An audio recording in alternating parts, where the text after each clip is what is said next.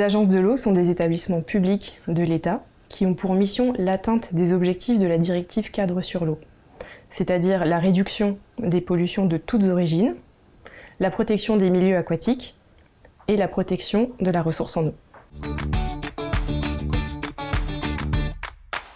On peut décliner les missions de l'agence en trois volets.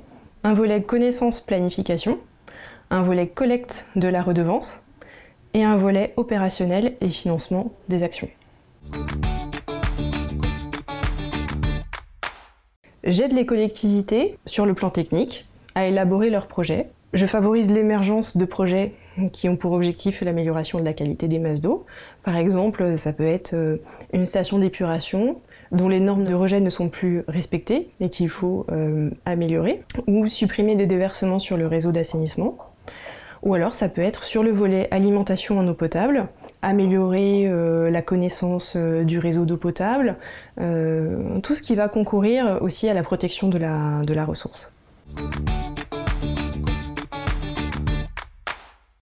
Mon métier au quotidien, c'est pas mal de coups de téléphone, de mails auxquels il faut répondre, des analyses de dossiers et surtout beaucoup de travail partenarial, donc des échanges soit en bilatéral, soit sous forme de réunions pour essayer de réfléchir ensemble au meilleur projet possible.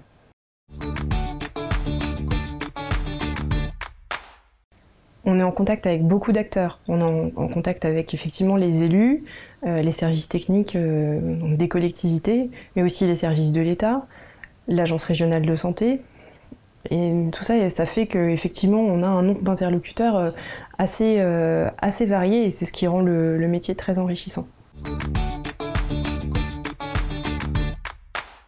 J'ai été recrutée à l'agence de l'eau euh, sur un poste d'hydrogéologue. donc mes missions, c'était l'évaluation de la qualité des masses d'eau, le suivi des études d'amélioration de la connaissance, la protection des captages et la gestion quantitative de la ressource.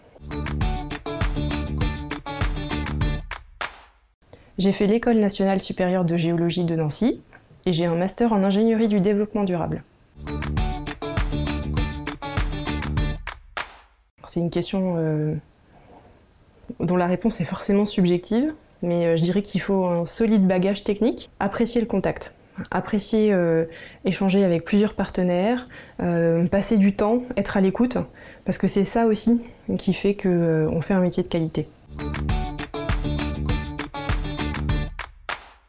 Ce que j'apprécie, c'est de travailler au contact euh, des acteurs de terrain, ceux qui prennent les décisions et les mettent en œuvre. Et en parallèle de ça, d'avoir une vision un peu plus globale, puisqu'on travaille euh, souvent à une échelle euh, qui correspond à un département.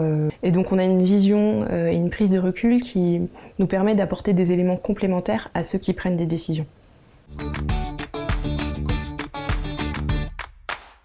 Je serai une goutte d'eau qui a déjà fait son cycle de l'eau et qui est prête pour repartir pour un second.